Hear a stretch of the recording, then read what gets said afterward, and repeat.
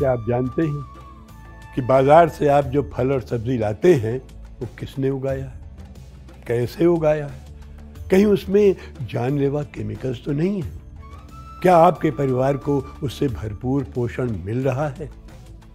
Green day किसान की दुकान आपको देती है संपूर्ण पारदर्शिता, जिसमें उगाने वाले किसान से लेकर प्रयोग की जाने वाली खाद एवं अनाज की पोषण गुणवत्ता की पूरी जानकारी सिर्फ़ एक क्लिक पर उपलब्ध हो जाती है, जिससे आप कॉन्फिडेंस से जान सकते हैं कि आपका और आपका परिवार कितना पौष्टिक आहार खाए।